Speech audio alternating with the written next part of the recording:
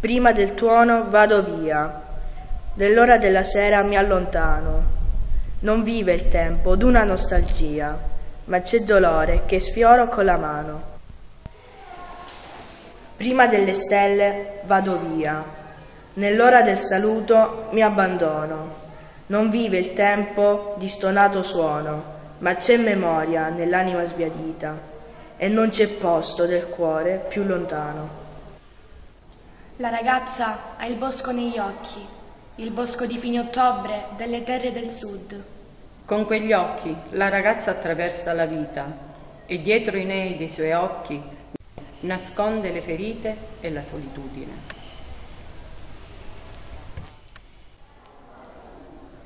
La donna è un groppolo d'uva che riflette i raggi del sole e stuzzica il desiderio di strapparlo alla vite, per gustarne ogni acido con l'autorità di farlo. Schiacciando lentamente il piccolo frutto rotondo tra i denti e lasciando che il dolce succo scorra sulla lingua e lungo il palato per sputare. Infine, la buccia ridotta in piccola poltiglia e i semi legnosi sputarli in un luogo qualunque, ma sicuramente il più lontano possibile dalla propria casa.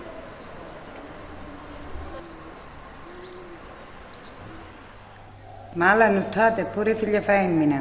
È il 3 marzo 1928 quando nasce Elisa.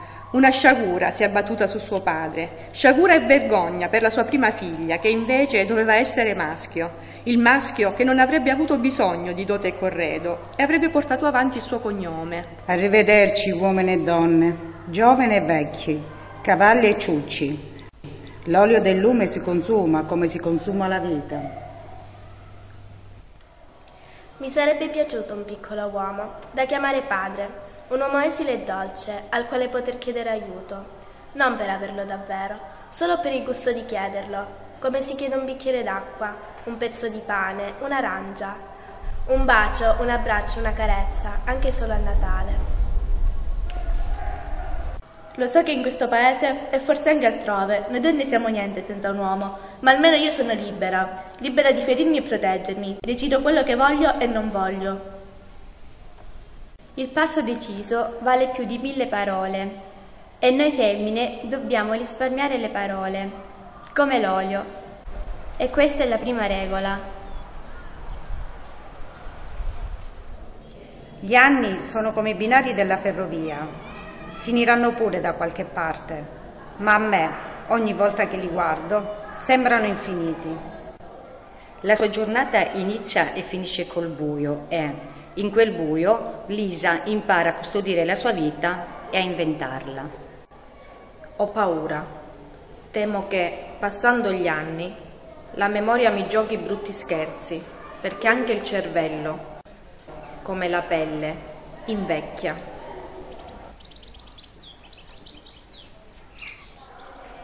Cerco di trovare una spiegazione che mi renda sopportabile quanto sta accadendo. Penso ad altro, mi concentro sul ricordo delle stelle d'agosto, che sembrano sorrisi di bambini. La malva rosa, che delicatamente si arrampica lungo il muro e raggiunge la finestra. La dolcezza del miele, il sole quando si stende nelle strade, la pioggia che rinfresca anche l'anima, ma ogni pensiero è inutile.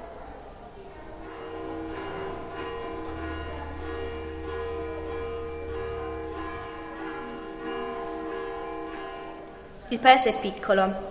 A volte mi sembra talmente piccolo che mi manca l'aria, ma conosco le sue strade, pietra per pietra. So dove incontrerò un fosso o un pozzo, dove crescono la malva e la camomilla, dove cercare la legna per il camino.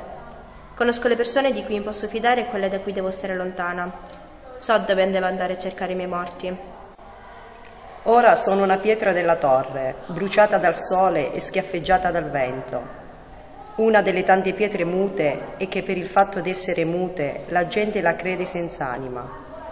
Per il fatto d'essere mute la gente si immagina che non possano concepire alcun sentimento, ma io ho concepito i miei figli e ho voluto che vedessero la luce del sole. Li ho portati avanti nella vita a qualunque prezzo, che un prezzo alla sofferenza non si può dare. Sofferenza e dolore sono i cavalli selvaggi e deve fare quello che vogliono loro, accettare i calci e i morsi e seguirli nei sentieri dove se ne vanno a correre.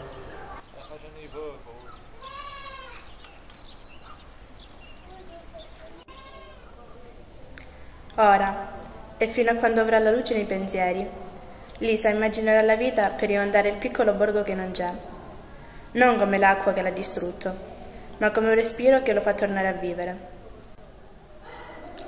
Al tempo passato che mi porto nel cuore, penso ogni sera, prima di lasciarmi perdere dal sonno. Ripasso gli anni, uno a uno, e cerco di ricordare finissimi particolari, segni, profumi, voci, colori.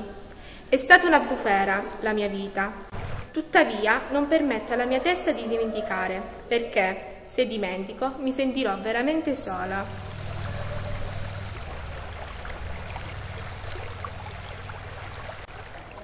Sono ignorante, è vero, ma la vita la conosco. Una parte è scritta nella terra e una nel cielo e queste due parti non si possono cambiare, ma c'è una terza che facciamo noi, con le mani, i pensieri, le parole, le decisioni grandi e piccoli, i peccati, le verità e le falsità, lo sanno tutti che dopo il primo sbaglio la vita prende a scorrere tutta sbagliata e diventa come una bestia impazzita che non si riesce più a controllare.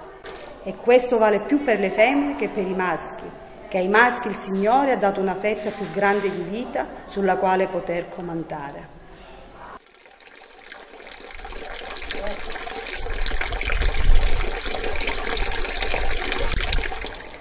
Non ho mai concesso un desiderio di prendere forma nel mio petto. Ci sono stati giorni che alcuni si affacciavano a turbarmi il cuore, ma li ho cacciati come cani rognosi. Talvolta ho lasciato che si prendessero un piccolo spazio nel mio corpo e li ho cullati come si cullano i figli. Poi li ho lasciati andare, uguali e precisi come erano venuti, e non mi sono mai chiesta dove andassero a finire perché qualunque sia il luogo dove vanno a nascondersi i desideri, è un luogo dal quale non si ritorna. Lisa, hai la casa come quella di una giovane sposa, con queste belle fotografie ai muri e i fiori che non mancano mai. Sei il quadro della giovinezza e il segreto te lo tieni bello nascosto. Nessun segreto, ho solo deciso di morire viva.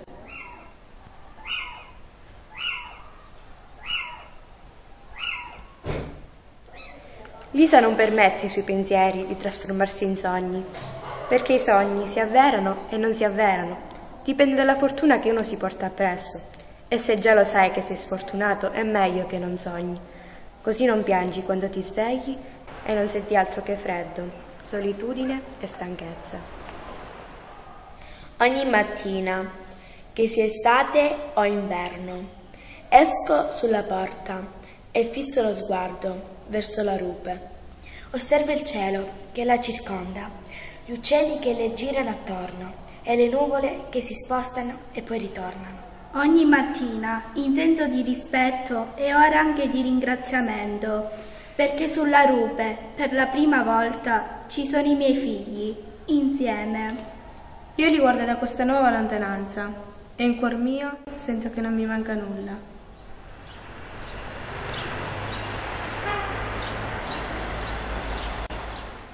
Della sua vita ha una sola fotografia, grande quanto una cartolina. È in bianco e nero. Il bianco si è trasformato in giallognolo. Il margine superiore destro è mordicchiato. In quel pezzo mancante doveva esserci il cielo color seppia della sua infanzia. Nel centro della foto c'è la maestra Rosa, con la sua bocca disegnata a matita e i capelli raccolti. Attorno alla maestra, disposti in tre file, i bambini della scuola. 35 tra maschi e femmine.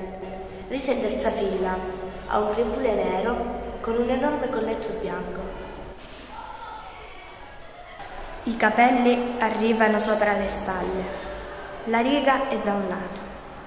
Sono tutti molto seri, come la maestra e danno l'idea di essere davvero tristi e infelici.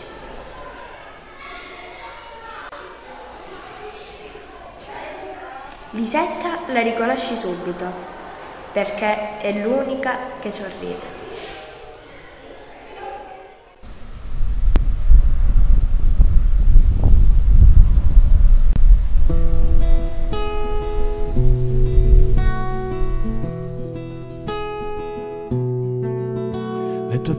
Fanno male, sono pungenti come spine, sono taglienti come lame affilate. E messe in bocca alle bambine. Possono far male, possono ferire